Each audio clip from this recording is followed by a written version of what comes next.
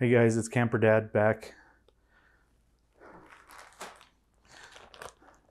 I did a video recently of doing the rotisserie chicken, and in one of those, I had loaded one of the trays just to kind of show this is way overloaded with rice and quinoa and garlic.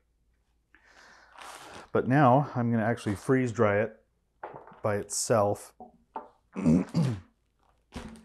since I'm not going to overload it all the way like I had on that other on the other video I'll lay it out like it will actually be successful in freeze drying.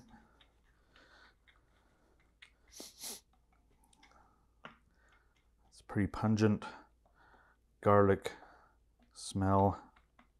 So this was something I found at Costco. Just on the shelf. It wasn't a frozen or anything.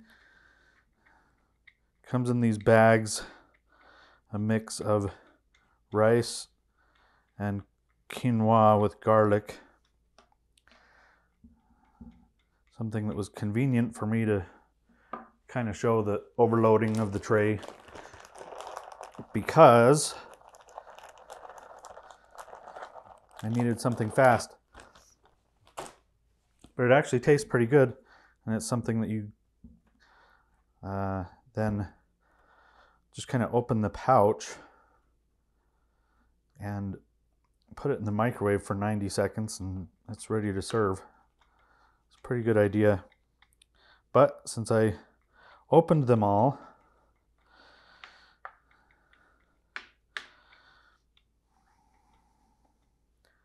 Now I'm going to freeze dry them to store them for use later. So hopefully you can see here about how much I'm loading it. Rice is one of those things that stores a lot of water inside of it. And so it takes a while to freeze dry. I have learned. So I am not going to load these trays more than that. Which means I'll probably get just all of this rice in four trays. And we'll see how this does. If, it, if there's too much ice that comes out of it, too much water that comes out of it that forms ice, and ice starts growing in on the tray, sorry, on the shelf, then I'll pull it back out, put it in the freezer, defrost, and start it over again. But I don't know, we'll see. I'll let you know after we freeze dry it. Hey, it only took 13 hours to freeze dry the rice and quinoa trays that I did.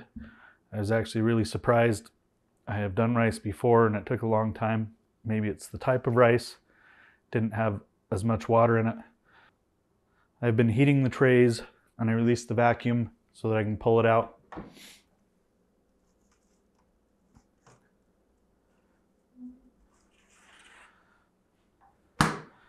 They're still pretty cold, but very, very dry.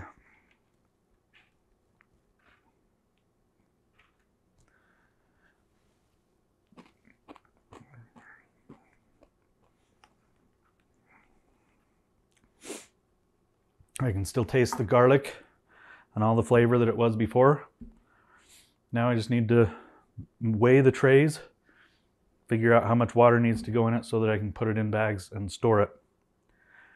I have made a change in the bags that I store in, and I will show you after I'm done packaging them.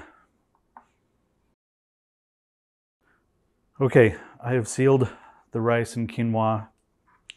Now, some of you may have noticed that I have changed to a Mylar vacuum seal bag. It's a product by a company called Steel Pack. You can get it on Amazon or other emergency preparedness stores.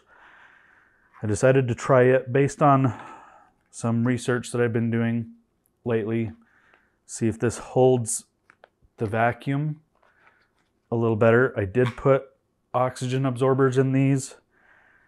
I figured out how much water needs to go in them and marked them. Uh, so I'm going to see what a difference this Mylar vacuum bag makes over the next couple months. Maybe you can see up close here. So I'll keep you updated. I've been doing some research, more research on the type of bag and vacuum, don't vacuum, just Mylar seal pouches or whatever. And this is where I am right now. I'll let you know what more research I learned from it. But I'm really pleased with the rice and quinoa. It freeze dried really fast. And I'll bet that I could have done double what I did in here. It just would have been a lot of packets of the Costco rice and quinoa. Anyway, another one successfully done.